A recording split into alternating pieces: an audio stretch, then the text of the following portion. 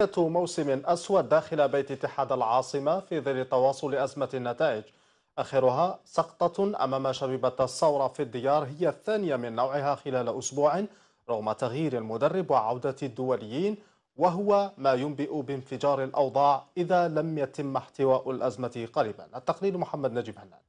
Les personnes qui étaient là aujourd'hui, qui aiment ce club, qui étaient très très en colère, ben, je suis à 100% avec eux. Et je comprends vraiment vraiment leur colère.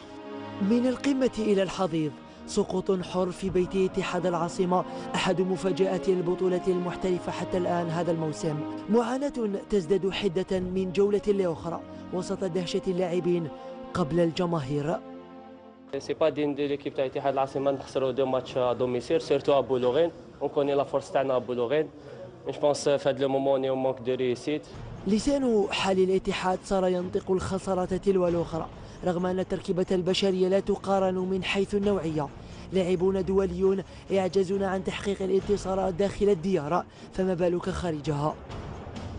أسوار ملعب عمر حمادي ببولوغين كانت شاهدة على سقطتين متتاليتين قلما تحدثان مع فريق بقيمة ووزن اتحاد العاصمة ولعل صورا كهذه لخروج الحكام تحت الحراسة ومعها اللاعبون تحت وابل من الشتائم لخصت أحوالا كارثية لمنشطي نصف نهائي رابطة أبطال إفريقيا euh, pour les remotiver, pour essayer de leur donner euh, cette confiance.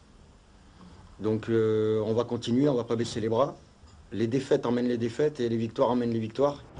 تغيير المدرب يبدو أنه حيلة لم تلق للحلول سبيلا فسرعان ما استقرت الأحوال على ما هي عليها بعد عودة القديم الجديد ميلود حمدي الذي تلقى صفعة أخرى من شبيبة الساورة في الديار ليصير بذلك لقمة سائغة للمنافسين على اختلاف أسمائهم نطلب من الأنصار يسمحونا ويوقفوا معنا parce que آه لازم لازم نخرجوا rapidement من الوضعية هذه.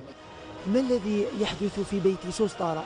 سؤال يبدو أنه يليق بحالة أصحاب اللونين الأسود والأحمر ونقطة استفهام لا يرى لها تفسير على الأقل في القريب العاجل.